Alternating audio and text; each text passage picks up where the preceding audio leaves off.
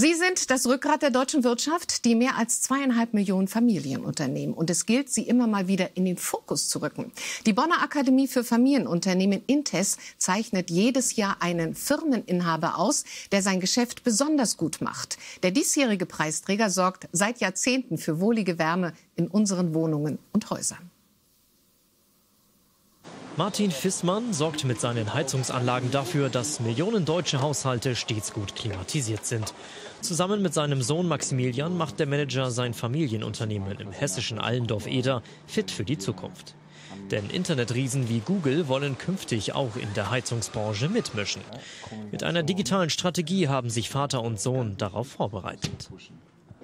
Martin Fissmann wurde deshalb auf Schloss Bensberg bei Köln von der Akademie Intes zum Familienunternehmer des Jahres gekürt.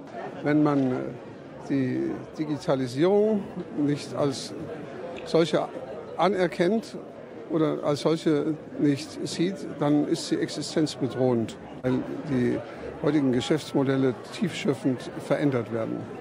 Den digitalen Wandel im Unternehmen will Martin Fissmann aber seinem Sohn überlassen ein wunderbarer Schritt.